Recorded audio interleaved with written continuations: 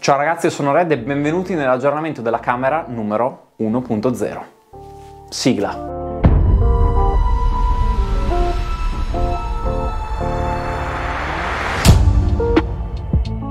Eh sì signori, siamo finalmente arrivati all'aggiornamento della camera. Era una cosa che volevo fare da tanto, non sono stato molto bene questa settimana, allora ho detto sai cosa c'è? Visto che comunque sono a casa, approfittiamone e giriamo qualcosa direttamente in loco. Dietro di me, come potete vedere, ci sono dei fucili nuovi, ho fatto degli acquisti, ho pensato che fosse più interessante farvi vedere le cose che ho comprato nuove piuttosto che farvi vedere per l'ennesima volta tutta la mia roba che bene o male conoscete. In questo modo il video è un pochino più veloce, voi avete modo di divertirvi un pochino di più guardandolo e io non perdo 800 ore in sala montaggio a montare ogni singola roba di robe che ho già detto. Guilty pleasure, quindi prendetevi una bibita, un sacchetto di patatine e gettiamoci all'interno di questo aggiornamento della camera.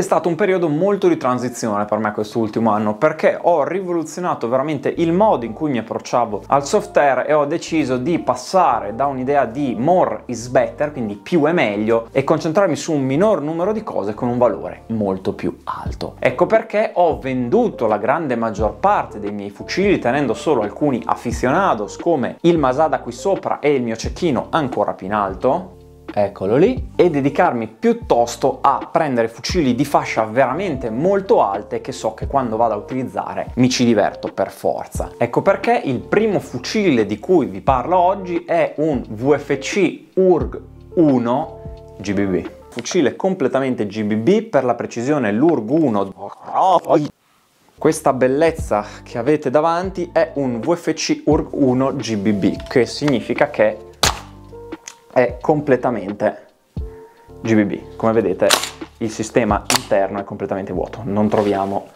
assolutamente niente, quindi non ha gearbox né altre cacate elettriche all'interno. È completamente green gas, quindi funziona green gas, ci sono appunto i suoi caricatori apposta che fittano qui dentro e che permettono al fucile di, di ciclare in maniera perfetta. Io gli ho montato una torcia della Watson in modo tale da poter andare a illuminare perfettamente le cose. Non ci ho messo l'unpack perché mi piaceva tenere un build un pochino più eh, leggero. Ho messo una normale cinghia di ritenzione economica. In futuro vorrei andarci a montare una cinghia della Claw Gear da fucile vero. Ovviamente il vantaggio di avere GBB è che ovviamente è molto leggero e ha il peso di un'arma vera quindi è molto divertente da andare a utilizzare e soprattutto ha un rinculo molto molto serio per così dire. Come tutti i suoi IGBB ho dovuto comprare i suoi caricatori apposta che sono questi qui, costano veramente un boato, ne ho dovuti prendere eh, 5 quindi uno con questo qui e 4 che erano eh, quelli di riserva da tenere nel fucile, tengono indicativamente 30-35 colpi a seconda che siano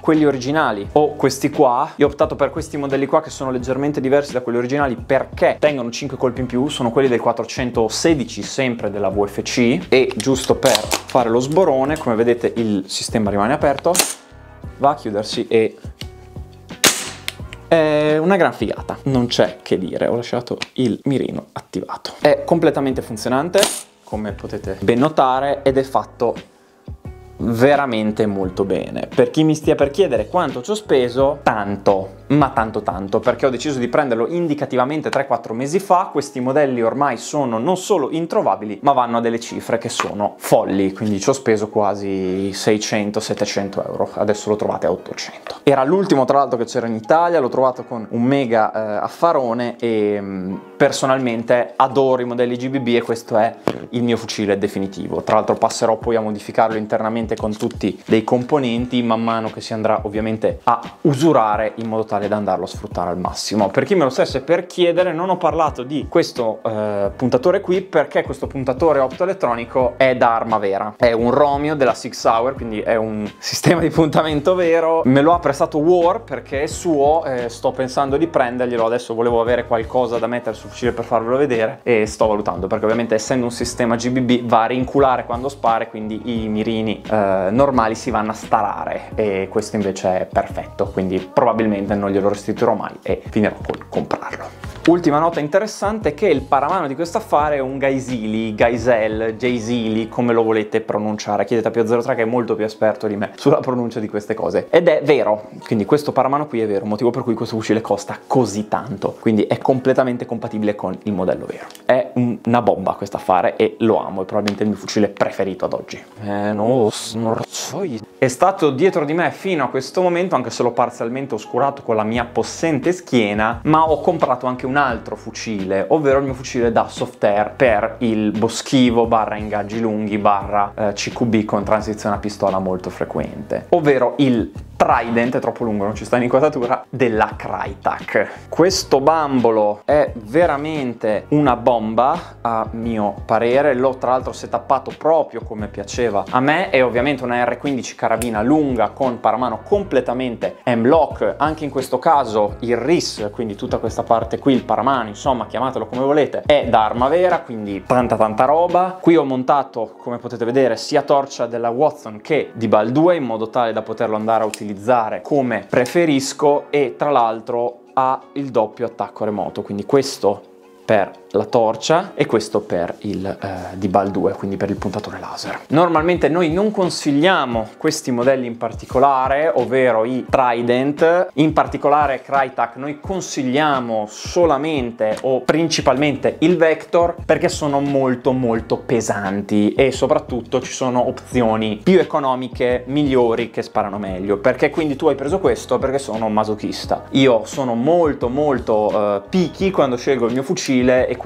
volevo proprio un modello che rispettasse esternamente determinate features e questo fortunatamente le rispetta a pieno. È molto pesante, come ho già detto, però è completamente in metallo, ovviamente elettrico, non l'ho neanche ancora modificato, lo necessita tra l'altro, che è una cosa che non mi aspettavo da un fucile, eh, insomma, Crytek eh, nuovo di pacca, infatti ha ancora, oltre che il logo Crytek che è spettacolare, il loghino eh, di, di, chiusura, insomma, che sta a significare che il fucile non è ancora stato aperto. Devo modificarlo tassativamente, però ragazzi mi fa veramente impazzire. All'esterno, perché ho preso un fucile basandomi esclusivamente sugli esterni, eh, più che sugli interni, è veramente ben fatto, va solamente un pochino modificato. Ah, ovviamente, sistema di puntamento RD2 della Aim O. Qui veramente ce l'ho messo ovviamente finto e il, la replica della Aim funziona perfettamente, mi piace veramente tanto. Anche su questo ho una cinghia a due punti punti normalmente ha la possibilità di andare ad attaccare ovviamente anche quella a un punto. E il mio bimbo è stupendo, è fenomenale. Per quanto riguarda i fucili come nuovi acquisti non c'è altro se non un paio di modifiche che ho fatto a fucili che già avevo. Ve li faccio vedere veramente in passando per non perderci troppo tempo. Questo è il mio ARP9 della GNG, un'altra marca di cui mi sentite parlare veramente poco e che io ho acquistato semplicemente perché avevo bisogno di, una, uh, di un guscio esterno da andare a modificare completamente all'interno. Infatti lo sono andato a modificare completamente all'interno, ho buttato via tutto quello che c'era dentro, ci ho montato una Titan e il resto. Adesso sta uscendo tra l'altro molta roba roba molto più interessante, diciamo che non essendo fan dell'arma corta mi sono accontentato di un fucile un pochino più di serie B, anche se dentro è stato modificato ampiamente, adesso è veramente un laser. Uh, sistema di puntamento come potete vedere, sempre un EMO, ve lo linko comunque in descrizione come tutto quello di cui sto parlando, che potete ovviamente acquistare da Monopoly Software Shop, il negozio per cui lavoro e che offre attrezzatura da software a ottimissimi prezzi e che soprattutto ci dà una mano a produrre contenuti sempre migliori, a farvi vedere cose sempre più divertenti. Ho cambiato il calcio, ce ne ho messo uno un pochino più leggero di questo tipo qua e anche come impugnatura sono passata questa cosa un po' figlia del demonio che però su questo paramano in metallo ci sta perfettamente, attacca direttamente sull'M-Lock e mi trovo abbastanza comodo con questo affare, è veramente super leggero, si oppone completamente al Trident qui dietro e mi serve quando gioco in CQB e voglio andare veramente leggero perché è una giornata fiacca. Infine il Ferrum S2, ovvero il mio fucile a eh, pompa. In questo caso ho fatto una piccola modifica, gli ho montato questa leva frontale perché mi piaceva più questo stile Renegade un pochino mm, da bandito, da tenere sotto il bancone e sparare in faccia a quello che sta cercando di rapinarvi. Mi dissocio ovviamente. Volevo provare a montarci anche un laser di fianco ma andava a sbilanciarmi troppo il fucile e ho optato per questo sistema molto più semplice e molto più divertente. Eh, ripeto, non ho mai nascosto di essere super fan dei fucili a pompa della Secutor, i Ferrum ne abbiamo venduti veramente tanti in questo ultimo periodo, ce li state chiedendo veramente in tantissimi, ce li state chiedendo veramente tutti quanti, io continuo a consigliare questi qua a molla perché sono ovviamente molto validi e poi dopo il gas se invece volete giocare con un fucile a pompa veramente in maniera seria. Questo però è mio preferito anche perché il pompa come detto lo uso veramente poco e con questo sistema è molto più divertente da utilizzare insomma. Per i fucili l'aggiornamento termina qui, quindi direi che ci possiamo muovere muovere sulle pistole, dove lì ho qualcosina, giusto due o tre robe da farvi vedere. Come potete vedere mi sono liberato di vari e tanti fucili, ho tenuto proprio quelli più vecchi a cui mi ero legato anche un pochino di più, ovviamente il mio G36K, l'altro mio G36, questa versione normale della Spec Nanos, che ovviamente lì fermo che non uso mai, chissà come mai, e infine questo M16 se vogliamo, in realtà poi, poi un M4, ma vabbè, che è un vecchio modello che mi è stato regalato da un caro amico e che ovviamente è dell'epoca della pera secca. Ho cambiato anche la rastrelliera, questo giro tengo fondine e varie pistole tutte messe così, anche perché avendo liberato un po' di spazio era un pochino più carino da vedere. Parliamo quindi dei miei nuovi modelli di pistola. Sposto un po' l'inquadratura in modo tale che la luce mi colpisca in maniera più piacevole e anche voi possiate vedere un pochino meglio. Lasciate perdere un po' il casino che c'è qui dietro perché ovviamente va messo un pochino a posto. Sì, ho fatto lo scout, tutte le volte me lo chiedete, sì, ho fatto lo scout e sono stato anche capo, quindi sono un boss. Parliamo di pistole. Che pistole nuove hai comprato, Red, e perché? Ci arriviamo. Come sapete, in quanto a pistole, io ho sempre scelto uno e un solo modello. Glock 17 Gen 5 della VFC. Questa è la mia pistola preferita, l'ho utilizzata veramente a eh, finimondo, infatti è macinata dentro, anche se la tengo pulita spesso, sparandoci tanto, questi affari si consumano e ovviamente il tempo comincia a richiedere il suo pedaggio. Ecco perché ho deciso di cambiare pistola, anche se ne ho già comprata una nuova, perché non riuscirò mai veramente a rinunciare a questa pistola. Sarà forse perché ho comprato una fondina da 150 euro, con attacco diventa 250, della radar nota come crab in modo tale da poter tenere gli accessori alla torcia all'interno? Forse. Quindi l'alternativa che personalmente ho scelto alla 17 Gen 5 che aveva tutta una serie di comodità sia per regolazione dello pub che come fuoco performance è stata l'M17 P320 Six Hour Pro Force. Come vedete però questo non è un modello normale di P320, anche perché come sapete la P320 è presente in due colorazioni normalmente. La versione completamente nera che ovviamente ho comprato e personalizzato, come avete visto tra l'altro dall'altro video, è quella completamente tan, quindi solamente con i colori che vedete qui sul carrello e sulla gonnellina del caricatore. Perché quindi tu Red hai questo modello qui? Beh, perché Red ha un altro modello di pistola che è esattamente opposta, quindi sono riuscito a trovare un fusto inferiore completamente nero e l'ho scambiata con la mia tan, come se avete letto e visto su Instagram, dove dovreste seguirci tassativamente sia me che il negozio perché ci permette di comunicare con voi cose importanti e decidete le sorti di questo canale. Io ho fatto questo giochino e le ho invertite perché volevo qualcosa che fosse sì bello come la P320 ma un pochino più personale. Sono matto perché effettivamente in soldoni ho tre P320 in casa? Forse, ma chi siamo noi per giudicare? Noi siamo noi per giudicare. Morale della favola, mi sono fatto questo incredibile regalo, mi sono preso una P320 e l'ho smezzata. La torcia è ovviamente una super economica, tra l'altro è di War, strano, e ho fatto questo spezzato, quindi il busto, il fusto della pistola, la parte inferiore è completamente in polimero ma è nera, mentre il carrello è tan e il caricatore ovviamente è questa versione qui che è nero dentro ma eh, il, la parte in, in coyote appunto del, della gonnellina.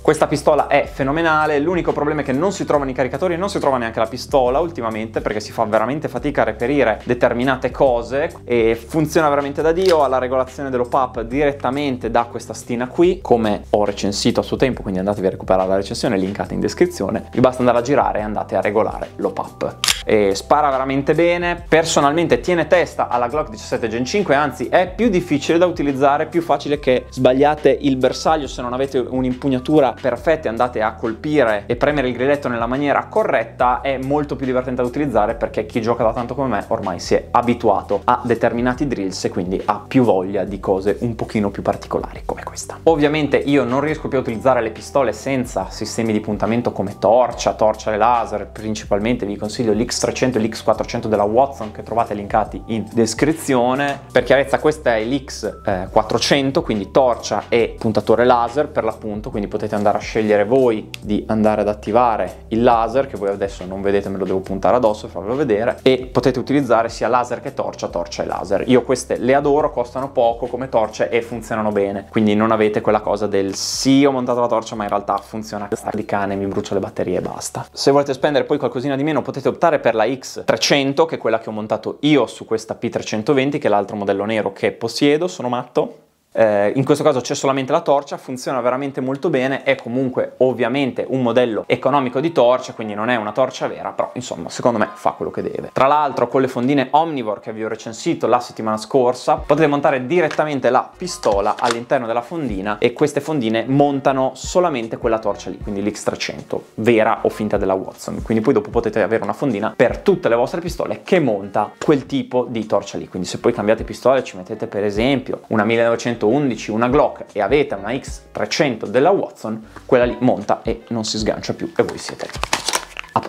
Detto ciò, io ho concluso, questo video è venuto comunque molto lungo perché facendovi vedere della roba nuova spero sempre che vi emozionate quanto mi emoziono io, quindi questo aggiornamento della stanza 1.0 per questa prima parte del 2013 termina qui, io vi ringrazio di avermi dedicato la vostra attenzione, ovviamente tutta questa attrezzatura è stata presa dal Monopoly Software Shop, il negozio per cui lavoro e che offre attrezzatura da software a ottimi prezzi, soprattutto con anche consulting e aftermarket help sono sicuro che abbiate capito. In sostanza, se volete attrezzatura da software a ottimi prezzi, andate a controllare il link in descrizione perché oltre che tutte le cose di cui ho parlato, c'è anche il sito ufficiale del Monopoly Software Shop e ci permettete di portarvi contenuti sempre migliori, sempre più interessanti e voi vi portate a casa roba da software veramente ad ottimo prezzo. Vi ricordo anche che abbiamo attivato il sistema di pagamento a rate, quindi solamente per acquisti in negozio potete magari prendervi quel fucile che costicchiava un pochino troppo e prenderlo a rate, quindi pagarlo con delle piccole rateine ogni mese che decidete voi. Se volete saperne di più, ripeto, WhatsApp e ovviamente il nostro numero di telefono che trovate tutto in descrizione. Qui da Red è tutto, io vi ringrazio di essere stati qui con me in questo stupendo sabato e come al solito, stay angry!